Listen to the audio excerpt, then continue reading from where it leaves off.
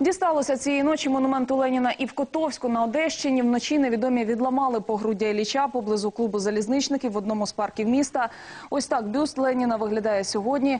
Відповідальність за це на себе поки що ніхто не взяв. Тож міліція відкрила кримінальне провадження і розшукує вандалів. По всій області посилили охорону пам'ятників Леніну. Естественно, будет усилена э, охрана силами милиции в рамках возможностей органов внутренних дел и в рамках закона.